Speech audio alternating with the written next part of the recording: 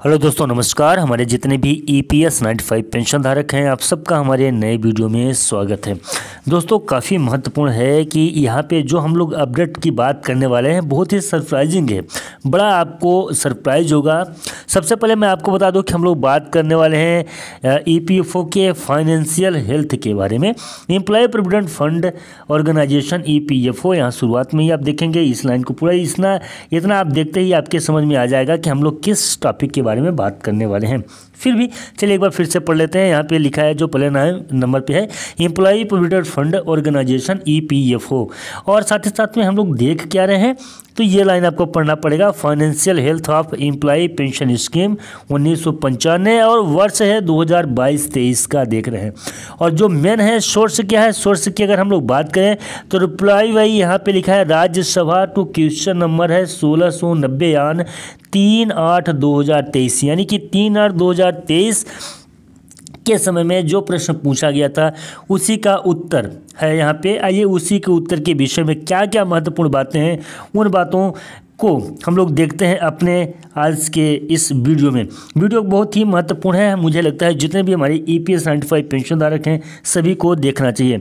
सबसे पहले यहाँ पे आप देख सकते हैं और यहाँ पे पैसे की जितनी भी बातें हुई हैं, टोटल की टोटल बातें जो है, ये सब करोड़ों में बातें हो रही हैं, यानी कि सिर्फ़ और सिर्फ़ करोड़ों में बात हो रही है। सबसे पहले यहाँ पे देखिए, देख लेते हैं ई पी एस पेंशन धारकों के पेंशन वृद्धि को लेकर यहाँ पे जो कर्पश में है ये करोड़ रुपए यहाँ पे इतना है।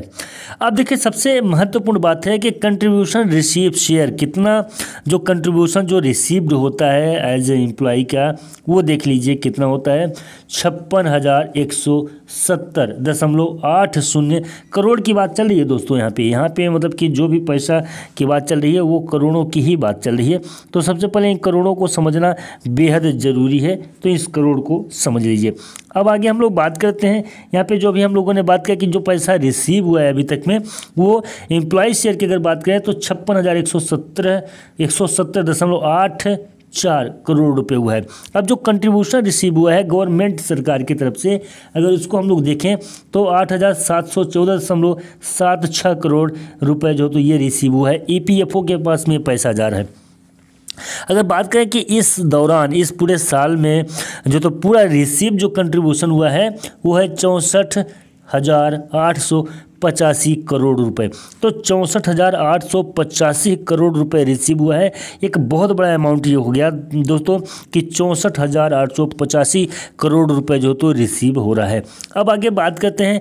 Income received for interest during the year अगर हम लोग बात करें कि इस साल जो कि इनकम हुई है ई पी एफ़ ओ की जो तो अगर बात की जाए इस पूरे पोस्ट के मुताबिक तो कितनी हुई है? इंक्यावन हज़ार नौ सौ पचासी करोड़ रुपए जो तो ये है इंक्यावन हज़ार नौ सौ पचासी करोड़ रुपए आप देख सकते हैं। यहाँ पे इस फिगर को पहले अच्छे से आप देख लीजिए कि इंक्यावन हज़ार नौ सौ पचासी दशमलव आठ दो करोड़ रुपए जो तो ये खाली ब्याज से इतना पैसा मिल रहा है। टोटल अभी तक की अगर बात की जाए तो सिर्फ़ और सिर्फ़ ये ब्याज से इतना पैसा मिला है। अब थोड़ा सा इसको अगर हम लोग बात कर लेते हैं, अगर कि total receipt during the year अगर टोटल अभी तक में सभी को कैलकुलेट कर दें टोटल चीज़ों को अगर कैलकुलेट कर दें तो अभी तक में कितना मिला है तो उसे आप देख सकते हैं, एक लाख सोलह हज़ार आठ सौ इकहत्तर दशमलव चार दो।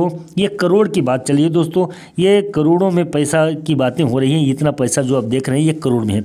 अब अगर हम लोग बात करते हैं कि पेंशन को कितना पेंशनर्स को कितना पेंशन की राशि दी गई है, पेंशनर्स डिस्ट्रीब्यूट यहाँ टू पचहत्तर लाख अंठावन हज़ार नौ सौ तो तेरह, जो E P S ninety five pension धारकों के धारक हैं, जिन्हें पेंशन की राशि मिलनी चाहिए, जो लेते हैं पेंशन की राशि उनका अगर फिगर हम बात करें तो ये है पचहत्तर हज़ार पचहत्तर लाख अंठावन हज़ार नौ सौ तेरह। तो ये पेंशनर्स हैं। अब यहाँ पे हम लोग थोड़ा सा बात कर लेते हैं कि इन पेंशनर्स को पेंशन की राशि कितनी मुहैया कराई गई है अभी तक में। ये पैसा इनको चौदह हज़ार चार सौ चौवालीस दशमलव छः चार करोड़ इनको दिया गया है। अब अगर हम लोग बात करते हैं कि टोटल जो पचहत्तर हज़ार पेंशनर्स हैं, उन्हें इतनी पेंशन की राशि दी गई, चौदह हज़ार चार सौ चौवालीस। और चौदह हज़ार चार सौ चौवालीस, यानी कि टोटल अगर बात करें ई पी के पास एक साल के अंदर में जो पैसा, जो अमाउंट आता है, वो अमाउंट आता है एक लाख सोलह हज़ार आठ सौ इकहत्तर, जो पेंशन की राशि दी जाती है, चौदह हज़ार चार सौ इकतालीस, और जो सेविंग इन पेंशन फंड अगर बात करें आप पेंशन फंड में कितना पैसा सेविंग होता है तो ये है एक करोड़ एक लाख दो दो हज़ार चार सौ छब्बीस करोड़, यानी कि अगर बात करें तो एक लाख दो हज़ार चार सौ छब्बीस दशमलव आठ दो करोड़ रुपए यहाँ पे मिलता है। तो दोस्तों, ये जो काफ़ी महत्वपूर्ण बात था, इसके बावजूद भी ईपीएफओ बोलता है कि हमारे पास फंड नहीं है या उनको पैसा नहीं दिया जा सकता है। बाकी दोस्तों, ये जो जानकारी है, इस जानकारी का सोर्स मैं आपको बता दूँ कि ये जानकारी का जो सोर्स है, ये राज्यसभा में जो रिप्लाई किया गया, उसी वही सोर्स एक माना जा रहा है। बाकी इस पोस्ट के मुताबिक मैंने बता दिया कि अभी भी E P S five pension धारकों के पेंशन वृद्धि को लेकर कितनी बातें कही जा रही हैं और आपको क्या लगता है, आप वो कमेंट में हमें ज़रूर बताइएगा। दोस्तों, उम्मीद करता हूँ कि वीडियो आपको पसंद आया होगा। फटाफट से चैनल को सब्सक्राइब कर लीजिए। मिलते हैं नई वीडियो में और नए अपडेट में।